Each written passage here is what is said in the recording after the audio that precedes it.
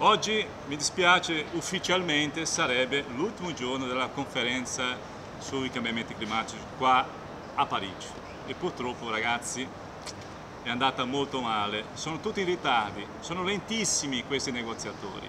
Forse domani avremo un accordo vero e proprio, però sono tanti nodi ancora da sbrigare, diciamo così. Ecco. E niente, noi vi salutiamo, speriamo domani darvi buone notizie. Perché? Perché domani è anche una giornata molto molto calda qua a Parigi. Ci saranno tantissime manifestazioni.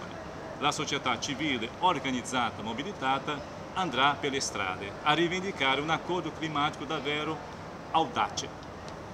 Uh, my name is Majandra Rodriguez and I'm from Peru and we are here uh, to make sure that the world knows that this draft agreement crossing already has crossed our red lines.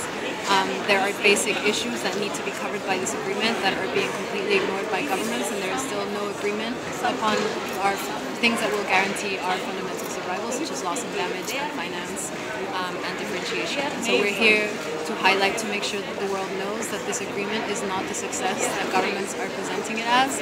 This agreement is actually failing us collectively, um, and so that's why we're here. Okay. How many are you? Um, I don't know. Very I say several hundreds, Okay. many hundreds.